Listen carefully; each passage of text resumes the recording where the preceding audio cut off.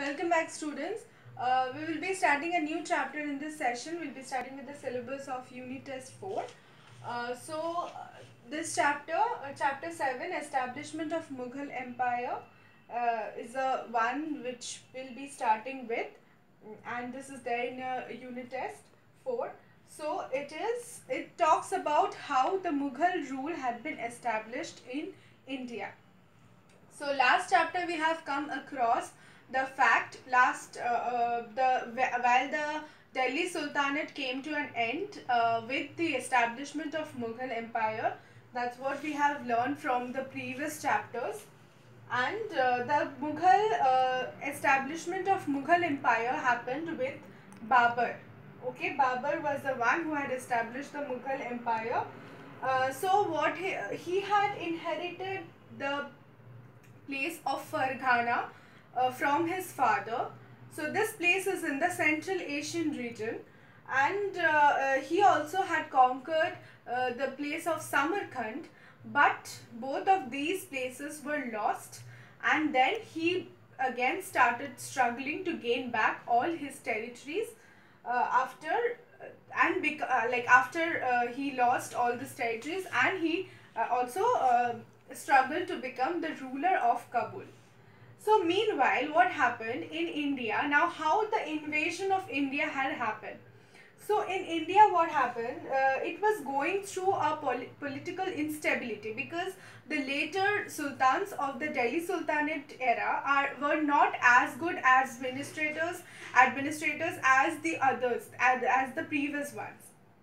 So the various dynasties which were there in the Delhi Sultanate, the later dynasties, did not actually uh, uh, admi- uh, like did not hold the administrative power uh, did not perform the functions of an able administrator, which led to the political instability and uh, finally they lost the power of control over the territory. So Delhi uh, Sultanate hence uh, lost its power. So, Ibrahim Lodi, the Sultan of uh, Delhi at that point of time, failed to suppress the Afghans. Now, Daulat Khan Lodi, the uh, governor of Punjab, declared his independence from the Delhi Sultanate, so he began to lose his power over the territories. Now, Punjab, the governor of Punjab, had declared independence, and uh, the Sultan of Delhi, Ibrahim Lodi, also failed to uh, b- uh, like uh, fight with the uh, Afghans.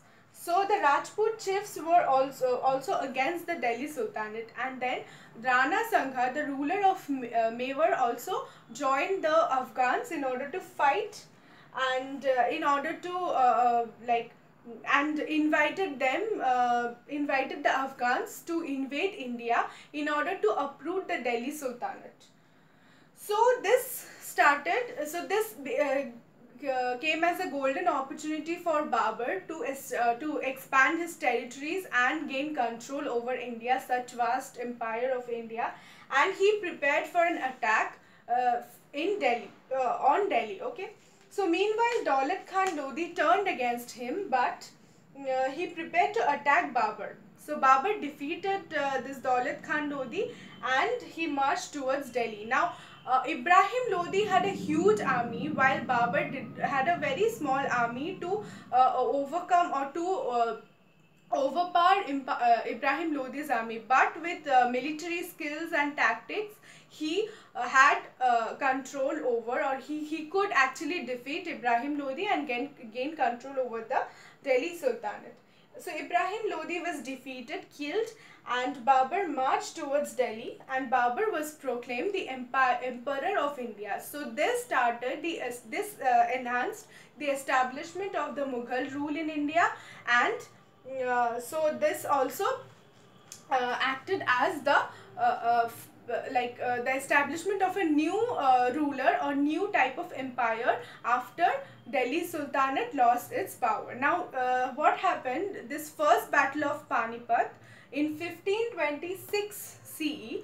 With this first battle of Panipat, this establishment of uh, Mughal power or Mughal rule in India started. So in this uh, first battle of Panipat, Ibrahim Lodi and uh, Babur came face to face and they fought and Ibrahim Lodi was killed and uh, he was defeated and Mughal was made the emperor uh, the Babur was made the uh, emperor of India and Mughal rule was established. Now consequence of battle of Panipat.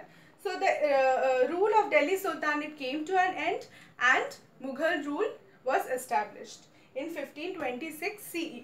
Now the army of Babur showed strength of uh, like showed the strength of discipline and military tactics which was showed by the army of Babur was also being uh, like uh, appreciated and cherished which actually helped him to uh, establish the Mughal rule. Now the Battle of Panipat uh, reflected the disunity and weak, uh, like the weakness of uh, the Indian rulers and thus made them vulnerable to the invaders.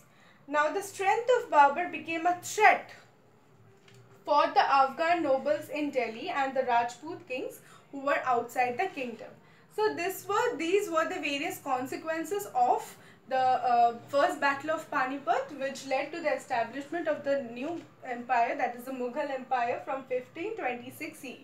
So we'll be dis- uh, so these two uh, portions that we have discussed for today's class uh, we'll be discussing uh, with the uh, rest of the portions that is Babur's uh, uh, Babur with the Rajputs and how he had established he had expanded his empire over the most of the part of India and how he had established the Mughal rule and how that rule uh, became one of the uh, prominent how he became one of the prominent rulers.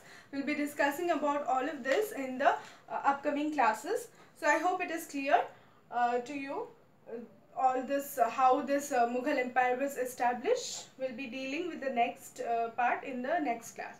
Thank you